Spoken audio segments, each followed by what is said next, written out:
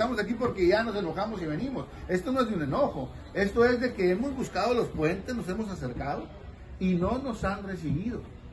Si ellos nos hubiesen recibido, sea positivo o negativo la respuesta, nosotros ustedes no los hubiéramos convocado. Nosotros hubiéramos ido a una instancia legal, como siempre lo hemos hecho en sin número de ocasiones. Es la forma en que el 7BC gestiona los derechos de los trabajadores a través de los juicios correspondientes. Nosotros no estamos litigando en medios, simplemente estamos haciendo patente que hay una reforma que no le permite hacer eso a la alcaldesa y ella lo está haciendo. Y le reclamamos y se voltea para otro lado. Eso no se puede permitir, por eso alzamos la voz y exigimos simplemente que cumpla la ley y que respete a los maestros. Nada más es nuestra petición. Nosotros no tenemos nada con ella eh, en una intención de hacerla quedar mal o algo, no.